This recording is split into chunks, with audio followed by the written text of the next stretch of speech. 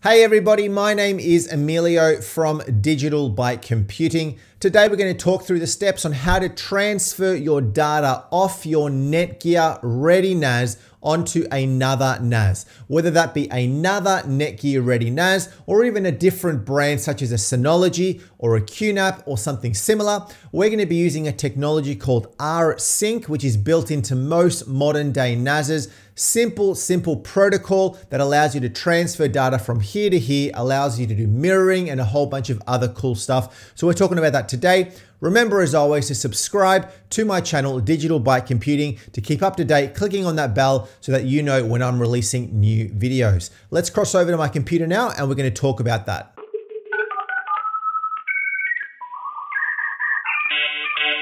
All right, so on our computer, we have now logged in via a browser to both of our NASs, IP address of one of them being 172.16.1.50 and the other one being 1.49. Your IP addresses could be different uh, and probably are different. Now, what we want to do is we want to use a technology called rsync to be able to sync the NASs between each other. This works between Netgears. In our case, we're doing between one Netgear NAS to another Netgear NAS, but it also works across different brands of NASs as long as you're using the rsync uh, protocol technology that is built into most NASs nowadays. Now, right from in here, you can see straight away uh, what my NAS looks like. So currently what I actually have in here is four three terabyte drives. These are SATA drives, three terabytes each in a RAID 5 configuration. And I've got my second NAS, which is this one here. This is an older Ready NAS. This particular one is running for two terabyte drives. SATA drives. Okay, it doesn't have to be exactly the same. Essentially, what we're going to do is we're going to copy some data from this NAS over to this NAS. Of course, if I wanted to copy the entire amount, uh, it's not going to be able to do that because the quantity is obviously different. So first thing we want to do is within here, again, this is going to be different depending on the NAS, but we're just going to go through the basic technology. Uh, so from within here, we're going to go into the backup tab right here. And you'll see I've already got some rsync jobs created. These are jobs that I created earlier. Uh, to be able to move data between my NASs. Now, before this, you need to obviously know what uh, folder, what share you're going to be wanting to copy from one location to the other under my section on my NAS shares right here, I've got a test share that I've created earlier.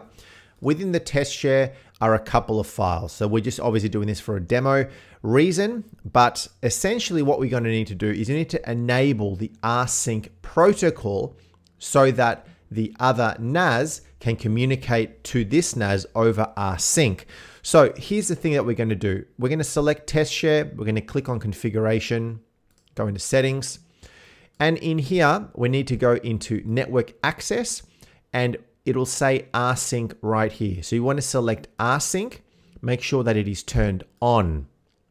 Now, I like to, because I like to sometimes have a sync between uh, both my NASs back and forth, I'm going to say it's going to be read write. That way a NAS in the destination can also act as the source and push the data back if it needs to. You can add a password if you so choose to and say apply. So all this is now done is it's enabled the rsync um, technology. Okay, that's the first step. The next thing that I like to do is under the host section, only limit the hosts that need to be able to access this particular share over the rsync protocol. So in my case, I know that the IP address of my other NAS is 172.16.1.49.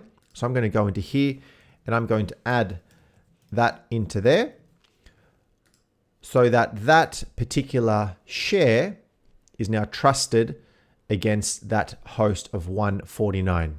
Okay, that's the first step. So now I've got my share set up, I've got the access set up, and I've got it set up to do rsync over the protocol.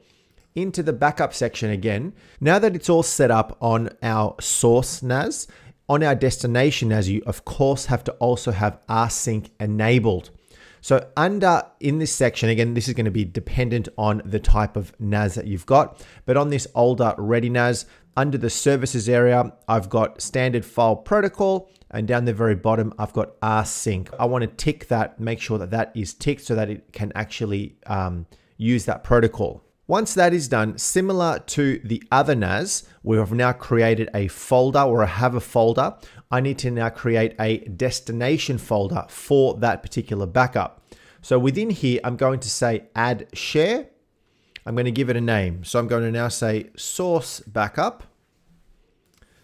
This is a test. Uh, public access, sure, we'll leave that all okay.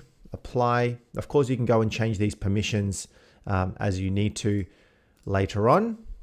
Sorry, if I go back into share listing, I've now got source backup. This is a test, and by default, it's using the CIFS uh, protocol, which is SMB. Uh, I can also enable rsync. Default access is read write because we want to be able to write to it and read because we want to be able to read to it. So similar to the other one where we set it as read write. Hosts allowed to access. Again, this is similar, but now we're doing it the other way around. So I'm putting the IP address of my source NAS. Ensure that you've got a, a direct connection between the two NASs. If you can, if you want, you can have it more open so that other devices can access it. But I like to have it a bit more secure, where the two can see each other, and that's enough. Rsync password options. Do you want to be able to set a password? We're not going to do that for this demo. I would recommend that you do do it if you are doing this in a production environment and you want to keep that sync going. And you ought to be able to do rsync over SSH, essentially encrypted. Um, we can do that if you want to. It's going to give you an SSH key, which is actually quite helpful. So we're going to now say apply. So let's just go back in here just to make sure it's all okay. So it looks good. Source backup. This is the test and rsync is turned on. And on this particular NAS, everything is turned on on both sides. So let's go to add backup. We're going to say test rsync job. Okay.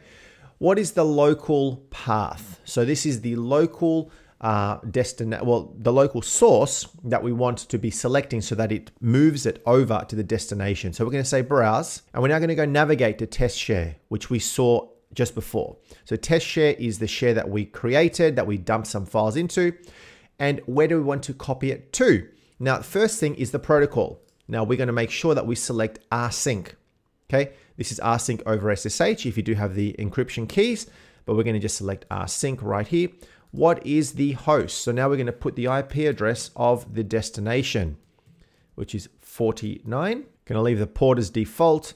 The share will be backup. Well, before we do that, we're going to go and put in the credentials. So it's not going to be able to connect into that NAS unless it has the relevant credentials to be able to get into the NAS in the first place. Now, if you have set it anonymously, you may be able to get in, but I like to provide relevant credentials. I'm going to use for now my admin credentials for the destination NAS. Click on Browse. So you'll see that the two folders have shown up. Now, if I go back to my other NAS, you'll notice that the only two folders that have rsync turned on are backup and source backup. And they're the two that have shown up right in here. So I can now select source backup, throw it into there, test the connection, make sure that everything's okay. Successfully connected to 149, source backup. So it is now ready to go. So it is going to now do a test, share, backup, or sync over to this other NAS under the source backup folder. Now, if you've gotten to this stage and you can't connect to your NAS, uh, you've got to do some further troubleshooting. There is a, a possible uh, number of things. It could be a network issue. There could be a firewall in between. If it's in, a, say, a different IP range, there could be subnetting, VLANing uh, that is causing you uh, problems between connections between the two. Uh, you could have issues on the way that you've created the permissions. Perhaps rsync hasn't been turned on. Uh, there could be a number of different things. From here, we can now select next and now we enable the schedule. Now, do you want to be able to just do this once? So I can just untick that and say finish and then I can run it manually or I can have it actually scheduled so that it runs consistently uh, however often I need it to run. So I can do it every hour, every two hours, every day, every 24 hours and at what time do you want it to run and on what days do you want it to run. Schedule full backup first time every week. So it's going to do a full backup and then incremental backups. Uh, we're not going to go through the details. Check my other videos around you know descriptions about what the differences are there. Uh, wake on LAN. So this is essentially getting the NAS to wake up if it's gone to sleep, as long as you've got wake on LAN enabled and ready to go. So that is, uh, from that perspective, it's ready to go. So I can now select finish. Backup job is created. Do you want to run it now? We're just going to say no for the time being. But here is the job, ready to go. Uh, you can set it so that the backup button on the front of my NAS, I have a backup button so that it goes and does the backup automatically, which is brilliant. Uh, test rsync job, that's what we've called it. It's going from test share to rsync server.